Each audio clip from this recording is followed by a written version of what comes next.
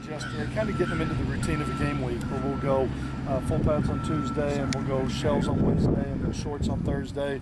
Uh, normally travel on Friday, where this case we'll have the opportunity to scrimmage on Friday. So trying to get them into the pre-game routine of what we do during the course of the week. But really, when you look at it, we'll probably only put shoulder pads on two at the most three more times, and that's Friday, uh, Tuesday, and possibly Wednesday if I put them in shorts. But coming out of camp, I mean in pads, but I'll probably put them in shorts coming out of camp. So we don't have much time left. Uh, we have a lot of mental work to do. Uh, I think they're coming out here. I think they're tired. I think we're we're out of camp, but we're not yet into the season. I think at this point it's almost like, all right, let's let's let's get the excitement of playing a game. And we're tired of hitting each other. Probably a little more pushing and shoving going on. I think they're they're tired of playing each other and they're ready to line up and play a game. But I think I think their attitude is good. They're focused on what they're trying to do. We're still not where we need to be. I think defensively we have a chance to be a pretty decent football team. Um, but offensively, uh, we still don't do a lot of the little things the right way. And we talked about how I think the offense is kind of caught up up, up front, but we're still not executing the passing game the way we need to be able to execute to be a really good football team at this point. You also have to look at it say, well, you've got you know Landi's a converted quarterback, you got Lindsay Lamar's a converted running back, you've got Joel Miller's a converted running back. You know, you look at all these guys that you're playing with right now, and they're guys that have converted to their positions to try and give us a little bit of depth there. So they're all not only freshmen from a mental standpoint, picking up everything we're putting in offensively, but they're freshmen at playing the position because they've never played the position before. So we're just going to have to continue to push and, and make sure that we can turn and develop as much as we can. But I think this last week in shorts is going to be really big for our passing game to where we can throw and catch the ball on a consistent basis, at least on air.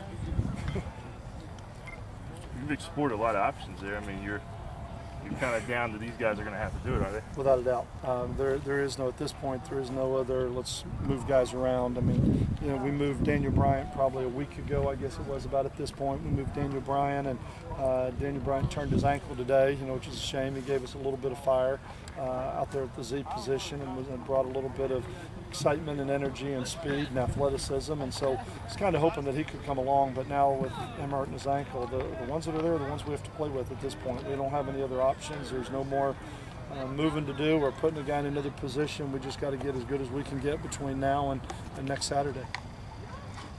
You see the guys start to see Stony Brook you know, on the horizon now? Um, we're watching some Stony Brook film, and we're, we're out here and we're running some scout teams last week or yesterday and today. A little bit more scout teams and some of the Stony Brook looks that we're going to get.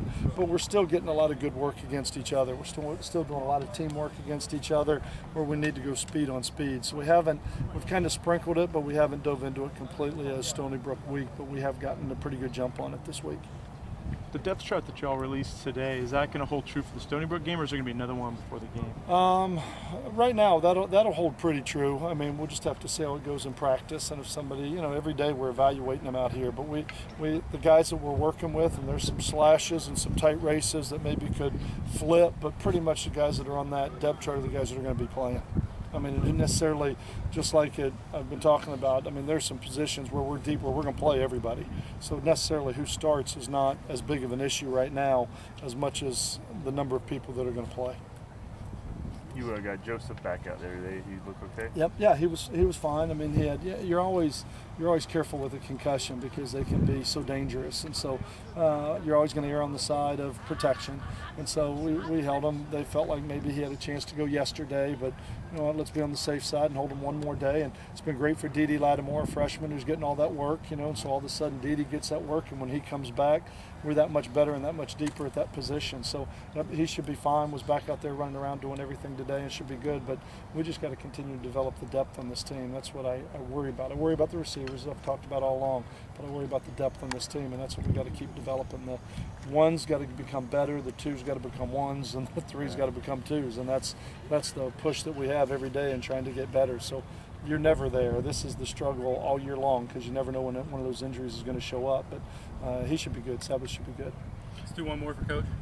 You, uh, you've talked a lot about the kickers back and forth. Mm-hmm. Considering what happened in your last game at East Carolina, I mean, is that comforting in some way? You have two guys who you feel pretty good about. It'll be comforting when the ball goes through the uprights.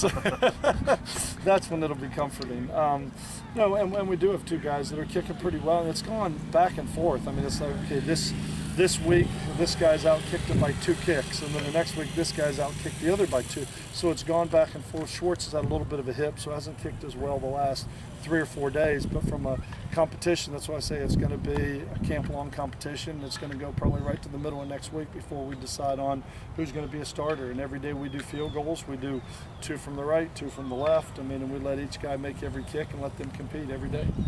Questions about things are coming along for Sterling Griffin in terms of where his timetable is right now? Uh, timetable, I think it's pretty much the same where they were talking about maybe at the beginning of um, October. Uh, kind of like where he'd missed the first four games. Is that a week early or late at this point? I don't know, but I'm I'm, I'm expecting him sometime around right around that first week of October is when we're expecting him back. Don't believe we've had any setbacks at this point, and I believe uh, AJ may be middle of October to late October uh, is what they're talking about with AJ. So Sterling could actually be ahead of him. Yes, Sterling, from my understanding, from what they've told me, Sterling should be back before AJ is. They, obviously Sterling was injured before him, but, but AJ had a much more serious injury.